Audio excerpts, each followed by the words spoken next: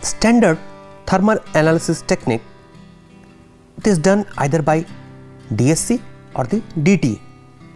DSC stands for differential scanning calorimetry while the DTA stands for differential thermal analysis. In DTA the difference of the temperature is measured as a function of temperature or time while in the DSC all things are same like DTA except additional measurement of enthalpy or energy required to keep the sample at same temperature as that of reference. Now, this is the most suited characterization method for preformulation because it requires only 2 to 5 milligram of sample. In the very first step, the sample is prepared and for that, the sample is taken in the crucible or the sample holder. They are made of ceramics in general. Now, the robotic arm will do the rest of the work. It picks up the sample holder and places it in the furnace.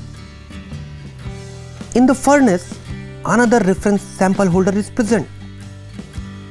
The comparison of heat flow between the sample and the reference is the observable parameter for DT. The sample and the reference both are heated at a constant rate. As there is loss of heat or gain of heat by the sample when it changes the phase upon heating exothermic or endothermic signals are registered and recorded. The crystalline fusion, transition, evaporation and sublimation stages can easily be visualized through these thermograms. Thermal analysis gives a lot more information than the melting point. In this particular example, the first thermogram is the DSC of drug which shows clear endothermic peak which was found shifted in case of its complex. The bottom one shows this with other carrier. It's visible that the complex was showing the unique peaks unlike the drug and the carrier.